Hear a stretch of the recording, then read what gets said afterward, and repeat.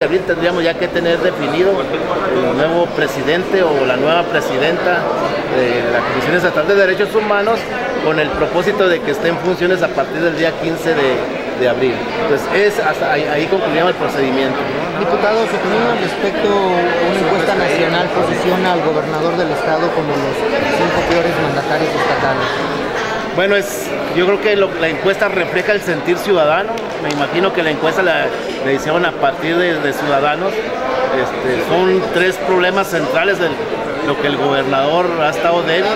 Uno es el tema de la obra pública, donde la gente no, no, identifica dónde, dónde se está realizando la obra pública. La gente identifica bien de que no hay mantenimiento, está la infraestructura, sobre todo el tema de carreteras, al tema de escuelas, al tema de hospitales, hay carencias en medicamentos, pues la gente ve esas debilidades.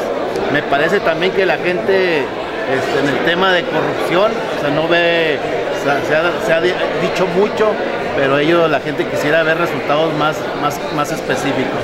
Hay muchos expedientes abiertos y sin embargo no, no se han concluido, incluyendo el del exgobernador César Duarte. Eh, hay un problema también este, en el sector agropecuario, donde no se ve que haya inversiones, no se ve resultados.